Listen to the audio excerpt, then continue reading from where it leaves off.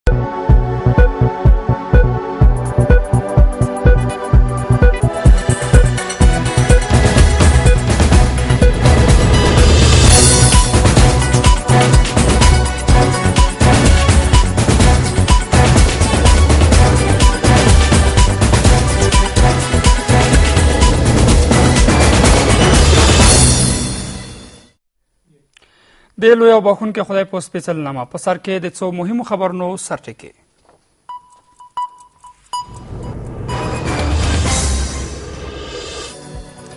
د نمروز ولایت د بند کمال بند وسلوالو مخالفینو ناکامه برید بلخوا د فراه ولایت پر خلکو سپید ولسوالۍ د سلګون ولسوالانو پر برید هم شا تنبول شوی دی د اوسني تعلیمي نصاب نیمګړتیا ولسمشر ویلي د ښوونځیو پوهنتونونو او نورو موسسو زده کړې پر سیستم باید بیا کتنه وشي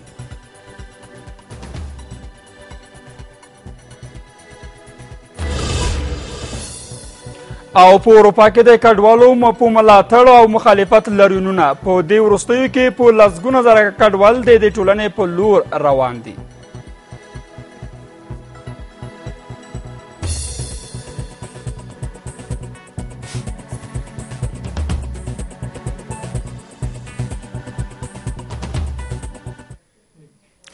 ډیر محترم مندونکو سلام د تمدن تړون څخه د شپږ بجو خبرې ټول ته خراغلاست ویان عبدالرحمن منګل اوس هم د خبرونو تفصیل یو شمېر سناتورانو امنیت شورا له پاکستانه د شکایت کولو غوښتنه وکړه دوی ویلي دا په هیواد کې د پاکستان د لاسوهنې د مخنیوي یوازنۍ لاره ده له دې سره مشرانو جرګې د وږي میاشتې په اتلسمه په کابل ښار کې پر بنظمیو نیوکه کړې ویلي دي چې کوڅه ډبي او لوچکو کسانو خلکو ته د زیانونو په رسولو سره شهیدانو ته سپکاوی کړی دی تر اوسه هم پاکستان د هیواد په نامنیو کې ګرم بلل کیږي دولتي چارواکو او ملي شورا غړیو تل ویلي چې اسلام آباد د افغانستان په نامنیو کې لاس لري خو تر اوسه دې نیوکو کومه نتیجه نه ده ورکړې مشرانو جرګې نن وویل د پاکستان د مداخلې د مخنیوي لپاره باید نوې لارې ولټول شي راز مردم خدا قطبا خصوصا از هیئت اداری ای تقاضا را داریم که قطبا باید با امضای همه اعضای مجلس سنا رسانده شود و به شورای امنیت و سازمان ملل رسانده شود به دفترشان تا مداخلات بیشرمانه پاکستان در امور داخلی افغانستان قطع گردد. ترین را به نظر مئی است که حکومت وحدت ملی قطع روابط سیاسی و قطع روابط تجارتی را با پاکستان بکنه شما ببینین میزان صادرات و واردات افغانستان و پاکستان به میلیاردها دلار اموال بی کیفیت به افغانستان می آید فروش می شود میلیارد میلیون ها دلار صدها میلیون دلار پاکستان از او نفع می گیره په امریکا کې د سپتامبر له یولسمې نېټې وروسته ناټو او امریکایي ځواکونه افغانستان ته راغلل او دا راتګ د ترهګرۍ پر وړاندې د مبارزې لښکر ښودل شوی و. دا هغه موخه وه چې مشرانو جرګې نړیواله ټولنه پکې پاتې ښودلې. ایالات متحده امریکا در افغانستان هیچ گونه دستاورد نداشته جز از اینکه مردم افغانستان به جان هم انداخت جز از اینکه مخالفین مسلح دولت افغانستان بیشتر تشویق کرد و جز از اینکه در افغانستان بیشتر مسائل ناامنی ها را دامن زد خو بل اړخ ته حکومت دی. د مشرانو جرګې په وینا، په حکومت کې اختلافات او بې غوري په هېواد کې د ناامنیو د ډېرښت له لاملونو څخه شمېرل کېږي. د مشرانو جرګې یو شمېر غړیو د امنیتي مسؤلینو د استجواب غوښتنه وکړه. همدارنګه مشرانو جرګې د وږي میاشتې په اتلسمه نېټه په ښار کې بې نظمي غندلې ویلي دي، نامسؤله وسله والو په دې ورځ د خلکو څخه ارامښت اخیستی و او کابل اوسېدونکي یې ځورولي دي. سړکونه لاري ټول د خلګو پر مخ باندي بندي دي د هيچا سر و مال په امن کي نه يي په هغه ورځ باندي خلګ د لرګيو د راکټوو د توپکو سره د باندي راوزي د کوره څخه د دي لپاره چي يو څوک ووژني يا سناتورانو له امنيتي ځواکونو څخه د دي ډول بي نظميو د مخنيوي غوښتنه کړي ويلي دي کوڅه ډبو کسانو ته بايد شهيد له ورځي د نمانځني په بهانه د ناامنيو او وحشت د رامنځته کولو اجازه ورنکړل شي دوی ویلي داسې کسان شته چې د دې ډول ورځو په نمانځنو سره د خپلو شخصي ګټو په لټه کې دي په ټاکنیز نظام کې د سمون راوستلو کمیسون کړنلاره نیمګړې ده او آزاد او عادلانه ټاکنو بنسټ وایي چې دغه کړنلاره نه یوازې چې د ټاکنو ستونزه نشي اورولی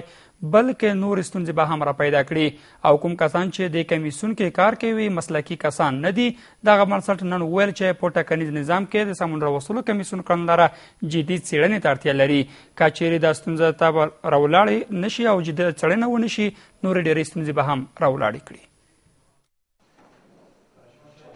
پیپا یا د افغانستان آزادو او عادلانه ټاکنو بنسټ وویل چې په ټاکنیز نظام کې د سمون وروستلو کمیسیون مسلکي نه دی او غړي هم د سیاسي سلیقو له مخې ټاکل شوي دي د دې بنسټ اجرایي رئیس یوسف رشید وویل چې نو ځکه د دې کمیسیون کړنلاره ګونګه او نیمګړې ده او د عملي کولو لپاره یې هم کوم میکانیزم په پام کې نه دی نیول شوی صورت کل باید بگویم که هنوزم نواقص اینجا موجود است هنوزم کمی و کاسی موجود است و ای میتونه که هم در در باشد باشه و این شکلش تطبیق قبول شوه برای اداره انتخابات هم برای مردم و ایجاب میکنه که کمیسیون اصلاحات انتخاباتی دوباره در روی شیوه کارشان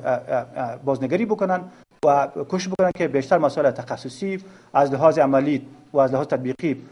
ممکن و از لحاظ از که واقعا اعتماد سازی را در جامعه بکنن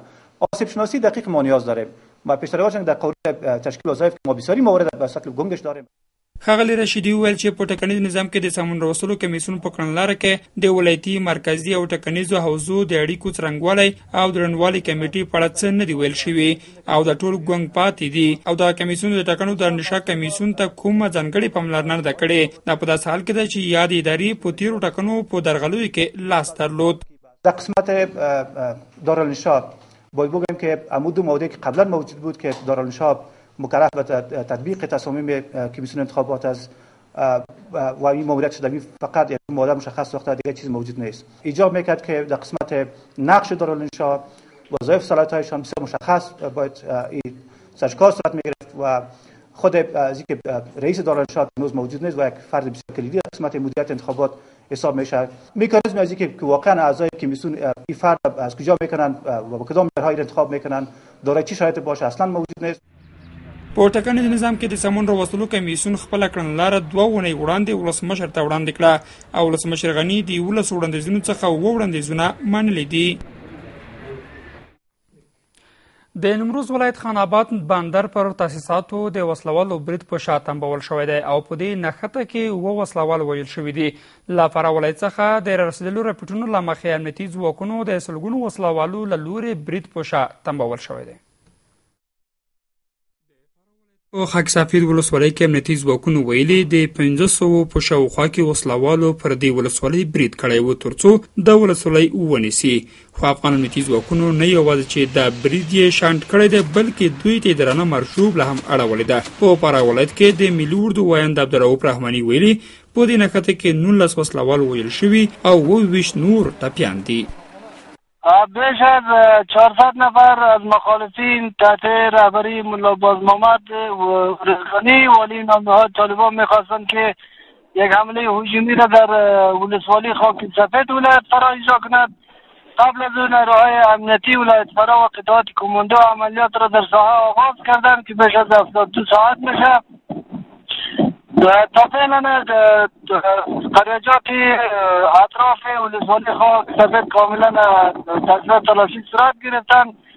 جنگ های رویرویی که صورت گرفتن تا فعلا 19 نفر از مخالفین کشته شدن که 8 نفر جسدهایشان در ساحه واقع ماندد پیش ما له بلې خوا د نیمروز ولایت د کمال خان بند د ساتنې قطعې قوماندان فاضل احمد زهري ویلي چې پر دې بند یې د وسلوالو برید شنډ کړی او په دې نښته کې اووه وسلوال وژل شوي دي د ویلي په دې څو ساعته نښته کې امنیتي ځواکونو ته کوم زیان نه دی اوښتی د کمال خان بند د نیمروز ولایت په چهار بارجک ولسوالۍ کې شتون لري او د هیواد له مهمو پروژو څخه شمیرل کیږي د سیمه ییزو مسؤلینو په وینا د دې بند په اوبو سره سل زره جریبه ځمکه خړوبیږي اتیا زره کسان پکې بوخت دي او نهه میګاواټه برېښنا تولیدوي د دې ډنډ لومړی پاز کار بشپړ شوی دی او دوهم پاز کار یې اتیا سلنه مخته تللی دی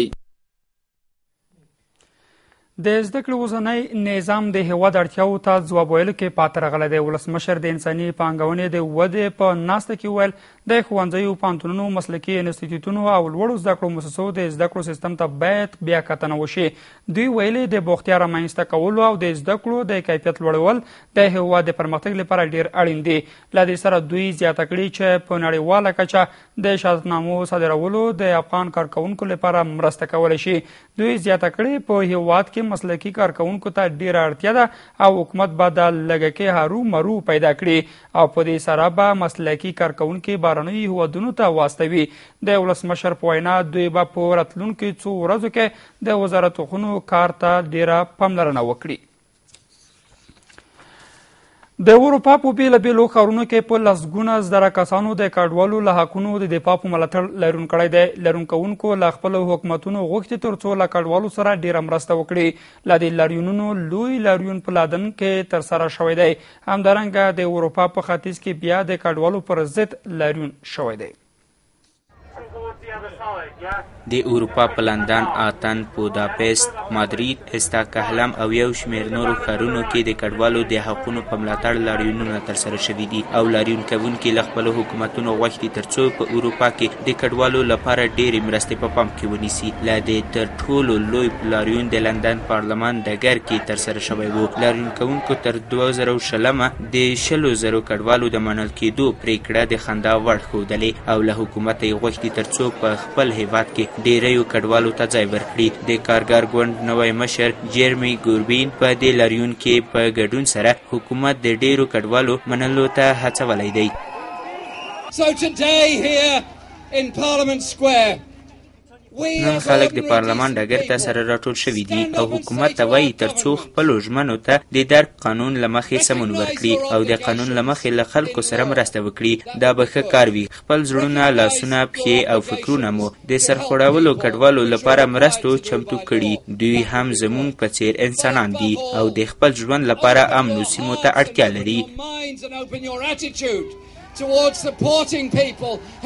د کوپنهګن په ښار کې تر دېرشو زرو کسانو په لاریون کې ګډون کړی و له دې سره د اروپا په ختیځ د ورشوب، برات او براتلیساوا په څېر په ښارونو کې اروپا ته د کډوالو په ځانګړي توګه د مسلمانانو کډوالو پر ضد لاریونونه ترسره شوي دي. دا لاریونونه په داسې حال کې په لاره اچول کېږي چې په دې وروستیو کې په لسګونه زره کډوال د اروپا په لور روان دي او د دې ټولنې کمېسیون د یو سلو شپېتو زرو کډوالو منل کېدو تصویب کړي دي. بلخوا ملګرو ملتونو خبرداری ورکړی که چېرې په سوریه کې جګړه همداسې دوام ورکړي، د روان کال تر پایه به یو میلیونه نور سوریان هم کډوالۍ ته اړ شي تر اوسه څلور میلیونه سوریان بهرنیو هیوادونو ته کډوال شوي او اووه میلیونه نور په خپل هیواد کې بې ځایه شوي دي په پاکستان کې د القاعده پر وړاندې د عملیاتو نه تر سره کول د امریکا لوی تیروتنه وه یو امریکایي پخوانی چارواکي ویلي امریکا باید پر هغو کسانو برید کړی وای کوم چې په امریکایي کې او امریکا کې بریدونه ترسره کړي دي دا په داسې حال کې دی چې ښاغلي کرزي په کراتو ویلي چې ترهګرو مرکزونه د پولې پورې غاړې دي نه د افغانستان په کلیو او بنډو کې د امریکا استخباراتي ادارې یوه پخواني چارواکي ویلي دوی باید د القاعدې د له منځه وړلو لپاره د پاکستان له حکومت سره په ملتیا په دې هیواد کې عملیات ترسره کړي وای. د په پاکستان کې د القاعدې پر وړاندې د عملیاتو نه ترسره کول د امریکا لویه تېروتنه ښودلې ده. ده ویلي، په پاکستان کې د القاعدې پر وړاندې د عملیاتو نه ترسره کول د دوی او د دوی د ملګرو لویه تېروتنه ده او که چیرې دا عملیات ترسره شوي وای، د اسامه وژل کېدو به لس کاله وخت نه و نیولی. ده ویلي، امریکا د افغانستان او عراق پر وړاندې غلطه تګلاره غوره کړې وه او باید په دې برخه کې پر پاکستان فشار راوستل شوی وای. ده ویلي، موږ باید هغه کسان پلټلي وای چې په امریکا کې بریدونه ترسره کړي وو. دې امریکایي چارواکي په داسې حال کې د خپل هېواد په تېروتنو اعتراف کړی چې پخواني ولسمشر حامد کرزي په کراتو ویلي چې ترهګرو ځالې په افغانستان کې نه بلکې د پولې پورې غاړې دي اوس هم ویل کېږي چې پاکستان له هغه ترهګریزو ډلو چې د امریکا په تور نوملړ کې شتون لري ملاتړ کوي خو بیا هم امریکا له دې هیواد سره د ترهګرۍ پر وړاندې د مبارزې په موخه په هر کال کې یو میلیارد ډالره مرسته کوي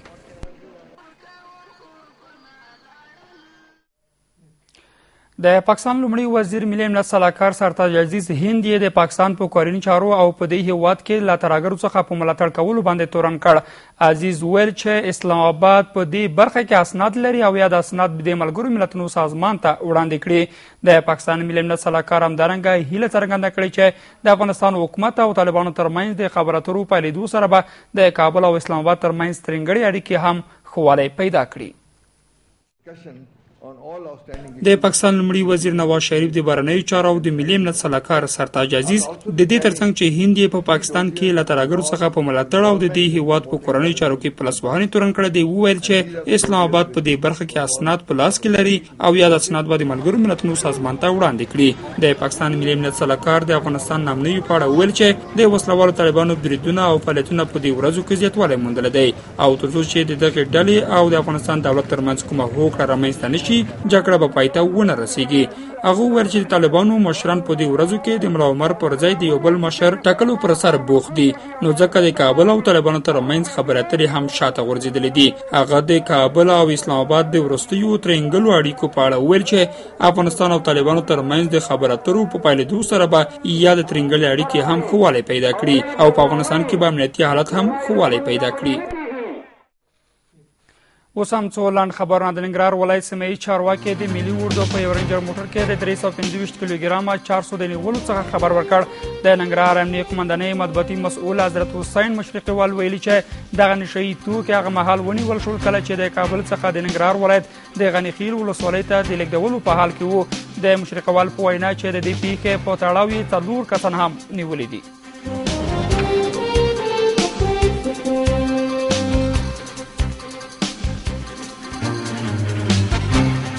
په تخار ولایت کې څلور برمته کوونکي نیول شوې دي ملي امنیت ویلي دا کسان هغه مهال ونیول شول کله چې یو کس یې د پیسو د ترلاسه کولو په موقع تښتولی و بلخوا په جوزجان کې مسؤلین وایي وسلوالو کسانو تیره ورځ څلور دولتي کارکوونکي د سرپل شابرغان په لوی لاره کې تښتولي او اوس مهال د دوی د موندلې پلټنې روانې دي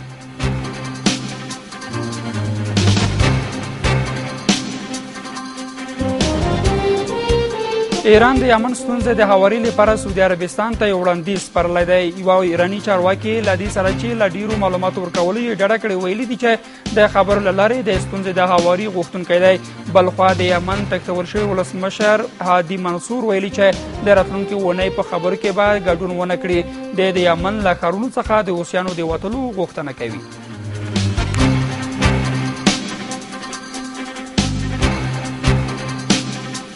د فلسطین القصی جمعات شاوخوا ته اسرایلی سرتیری او فلسطینیان سره په نښته کې ښکیل شول نښته هغه مهال رامنځ شو کله چې د اسرایلو د کړکیچ مخنیوي پولیس د جمعات د ننوتل د دواړو خواو ترمنځ شخړو هغه مهال زور واخیست کله چې اسرایلی رژیم د دوه مسلمانانو ډلو پر فعالیت بندیز ولګوه او د ډلې اسلامي مقدسو امکاناتو د اسرایلو له ورتګ سره مخالفت کاوه او اسرایل سرتیرو نن د فلسطین فعالیتونو د نیولو په موخه یې دې جومات ته ننوتلي دي. د اوکراین مسالې په حق لري روسیه او اوکراین چارواکو ترمنځ خبرو پرمختګ کړی دی د خبرې په برلین کې د الماني او فرانسوي چارواکو په ګډون روان دي د المان بهرنی چارو وزیر ویلي د دواړو خواو د پول غاړو ته پر اوربند لدی سیمو د درنو وسلو په لری کولو او په ماینونو د ځمکو پر نه پوښلو هوکړه کړې ده او همدارنګه په ختیځو سیمو کې د ټاکنو پر څرنګوالي خبرې شوې دي